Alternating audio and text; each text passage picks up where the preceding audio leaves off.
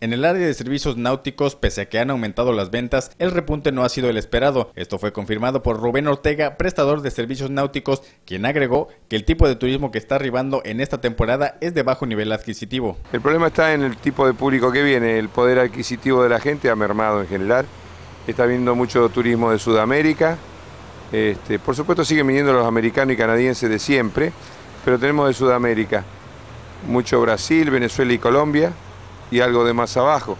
Pero en general el poder adquisitivo es menor. El entrevistado mencionó que se ha notado un ligero repunte en lo que va de estas vacaciones de verano. Ya no son las temporadas de otros años.